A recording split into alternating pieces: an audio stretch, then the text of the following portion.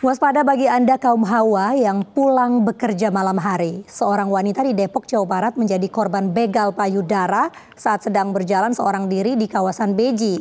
Polisi masih menyelidiki kasus pelecehan yang sempat terekam kamera pengawas ini.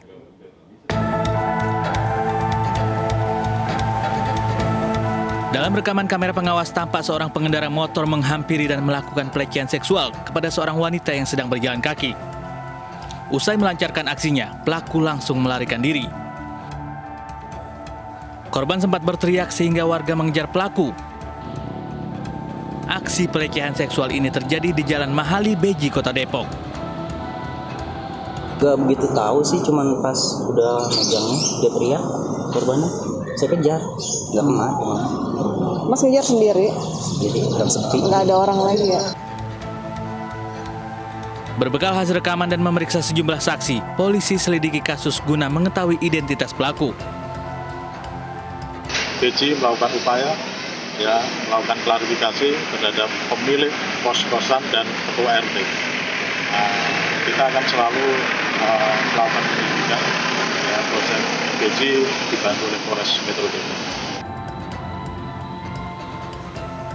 Polisi mengimbau kepada warga khususnya wanita yang pulang pada malam hari tetap waspada terkait minimnya penerangan di beberapa titik jalan di Depok.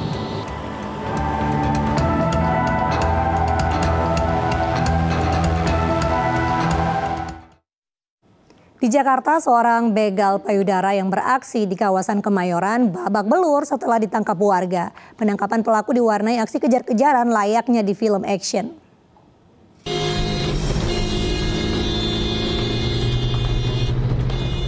Inilah video yang direkam pengendara mobil saat mengejar pelaku begal payudara di kawasan Kemayoran, Jakarta Pusat yang viral di media sosial. Di posisi jalan yang sepi, pengendara mobil berhasil memepet pelaku hingga pelaku terjatuh. Iya, gue ngaku. Terus tadi kenapa nggak jujur? Memang, memang. Situ nuduhnya jambret. Warga langsung menangkap dan menghakiminya. Meski sudah tersudut, pelaku masih berusaha membela diri dan malah menantang warga.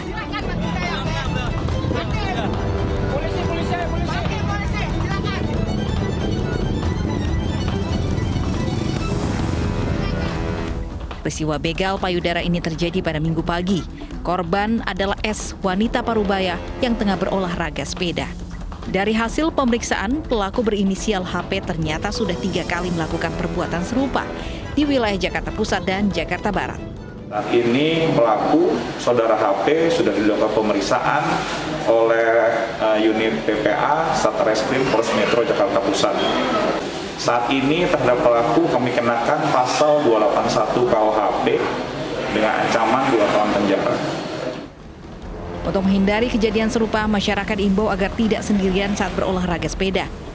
Mengingat kawasan Kemayoran cukup sepi dan jalanan lebar, ia akan memudahkan pelaku kabur.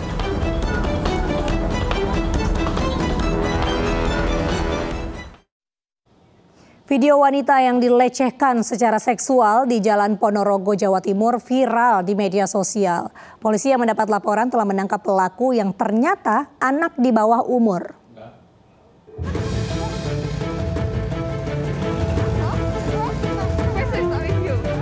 Inilah detik-detik pelecehan seksual yang dialami seorang wanita di jalan jurusan wisata Waduk Bendo, Desa Kemuning, Ponorogo, Jawa Timur.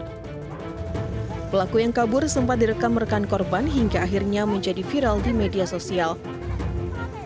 Korban telah melaporkan pelecehan ini ke Polres Ponorogo dan berdasarkan video viral, polisi yang menyelidiki akhirnya menangkap pelaku yang merupakan warga desa Ketro, Ponorogo.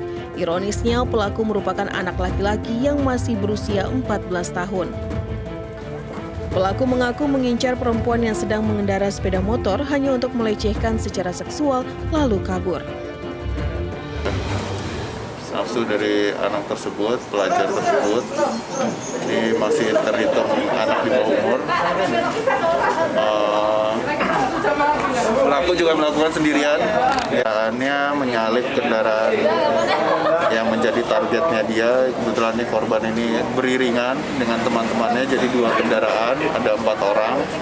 Namun yang disasar ini para uh, korban yang duduk di sebagai apa posisinya di belakang atau yang digonceng ya. Meski sudah ditetapkan menjadi tersangka, bocah 14 tahun ini tidak ditahan dan mendapat pendampingan hukum. Namun atas perbuatannya tersangka terancam hukuman maksimal 2 tahun penjara. Pelaku tindak asusila terhadap seorang mahasiswi di Purbalingga, Jawa Tengah ditangkap warga dan sempat diamuk masa. Pelaku melecehkan korban saat olahraga pagi.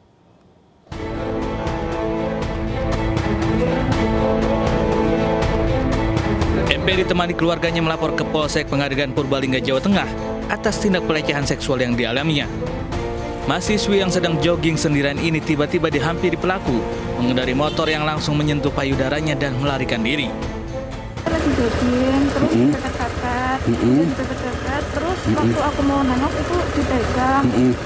Jadi aku pertamanya shock, trauma gitu, tapi habis itu aku langsung teriak-teriak sambil ngejar itu, mm-hmm. sambil minta pertolongan. Mm-hmm. Warga berhasil menangkap pelaku yang langsung menyerahkannya ke Polsek Mengadegan guna proses hukum lebih lanjut. Pelaku yang bekerja sebagai petani mengaku pernah melakukan perbuatan serupa lima tahun lalu. Itu melihat seorang perempuan usia sekitar 22 tahun sedang olahraga pagi langsung mepet naik sepeda langsung meremas payudaranya perempuan tersebut. Sehingga merasa kesakitan terus minta tolong pada warga oleh warga terus dikejar. Setelah dikejar diamankan terus diserahkan ke pihak polsek pengadilan kasus tindak asusila ini kini dilimbahkan ke unit PPA Polres Purbalingga Warga kampung Cigelang, Lebak, Banten sempat diteror pelaku begal payudara. Enam wanita jadi korban pelecehan seksual oleh pelaku yang melancarkan aksinya dengan mengendarai motor. Didampingi suami, korban begal payudara melaporkan kejadian yang dialaminya ke kantor Polsek Rangkas Bitung, Lebak, Banten. Bahkan perlakuan tidak senonoh ini sempat berlanjut ke ancaman pemerkosaan, namun korban berhasil merekan diri. Berdasarkan laporan warga Kampung Cigelang, Desa Ciman Genteng, Kecamatan Rangkas Bitung, Lebak, Banten, aksi tak senonoh di jalan ini sudah enam kali terjadi. Berdasarkan keterangan korban, pelaku merupakan pengendara sepeda motor metik. Sebelumnya pun kata korban ada korban lainnya. Nanti kita akan cross check korban lainnya siapa. Kita akan lakukan cek TKP, kita akan cari korban lain. Nanti kita akan tindak lanjuti. Setelah itu kita akan koordinasi dengan Polres. Nanti kita akan dengan PPA karena ini menyangkut dengan peradilan ah, perempuan ya.